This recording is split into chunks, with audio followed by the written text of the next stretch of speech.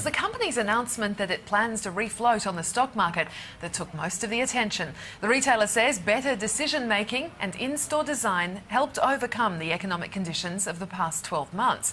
Well, for more on this, we're joined by the independent analyst Roger Montgomery. Roger, great to have you in the studio. Thanks, Thanks for your time. It's a pleasure. Now, just firstly, I mean, there was no real surprise. There have been a lot of speculation reports that this IPO announcement was coming. What about the timing, though? Did that surprise you? No, not at all. I mean, now now is the time to sell a business. You know, the time to sell a business is when you're going to get the maximum possible price. There's a terrific saying in the industry: "Feed the ducks while they're quacking," um, and that seems to be the case. You know, they're, they're, they're going to get a much better price selling today than they would have uh, had they been forced to sell for whatever reason in, in March. But clearly, that's not the case. Now, your view is quite interesting is that the profit that's going to be made by TPG is going to be bigger than what's been reported. Just what sort of numbers are you looking at here? Well, it's pretty much the entire proceeds of the float um, will go to uh, TPG Newbridge.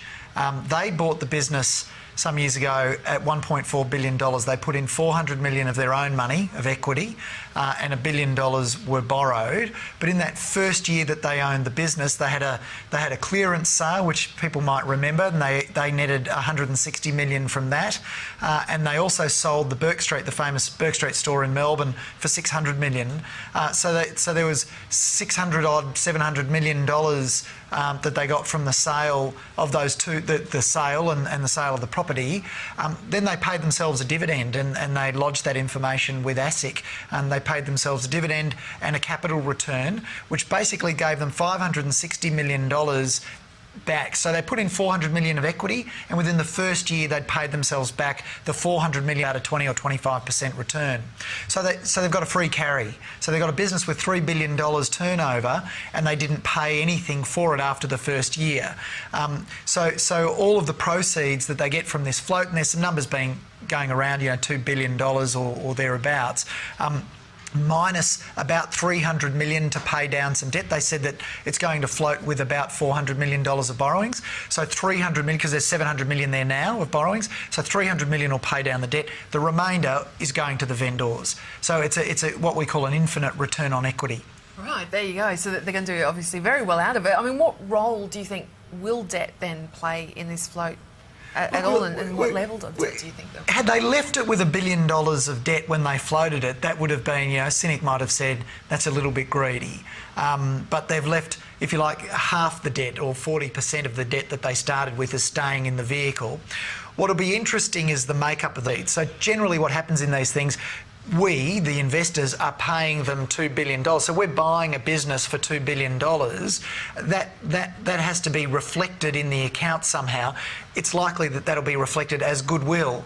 Um, I often refer to it as, as hot air. You know, goodwill is only goodwill when the business is going good um, or well, and if it's not going good or well, then it's not goodwill, and ultimately it gets written down. But let's, let, to their credit, they've done a great job, and the real question to ask is, um, in such a short space of time if they've been able to turn the business around so well. What was previous management doing when they were at the wheel?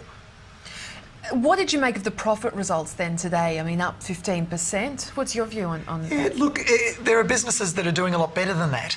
Um, but, but to turn around a boat that size uh, is difficult. It's a great challenge, and they've really done a phenomenal job to get the results that they have based on if, if we if we extrapolate the growth in earnings that they achieved this year, we suggested that they might get it next year, then I think the business is worth somewhere between 1.6 and 1.7 billion dollars. That's that's what I think is worth. And if I could buy it at a big discount to that, well, maybe I'd consider it. It's according to their numbers, it's generating a 30 odd percent return on equity. Um, so based on $108 million profit, there's probably equity of about $350 million.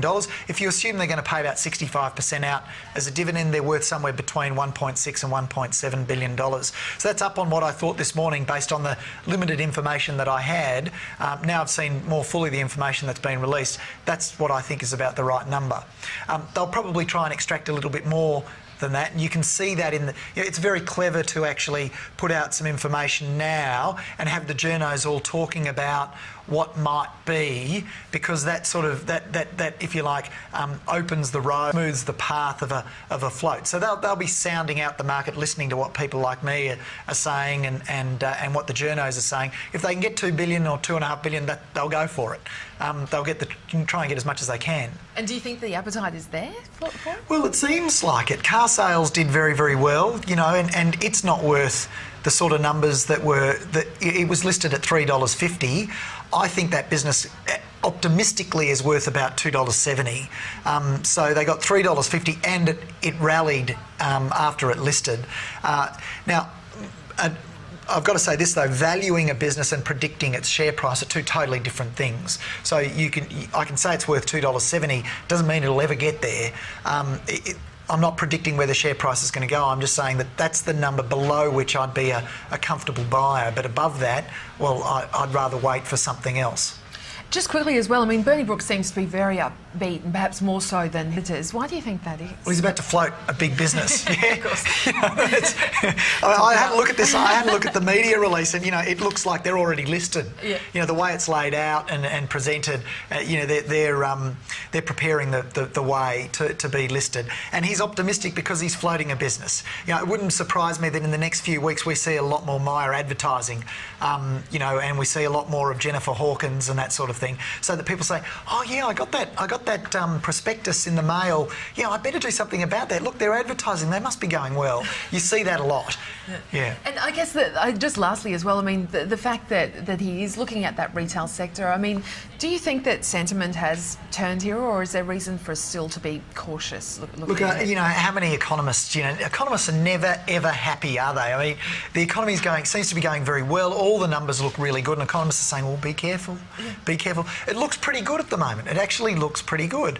Um, checks have all run out. Yeah, well, they've run out, and things still look pretty good. So you know, we'll wait and see. I'm no economist, yeah. um, uh, but but I, you know, anecdotally, uh, things look okay. What really concerns me more than anything else, and I, am not trying to predict the economy. I really don't think that's something that you'll ever win doing.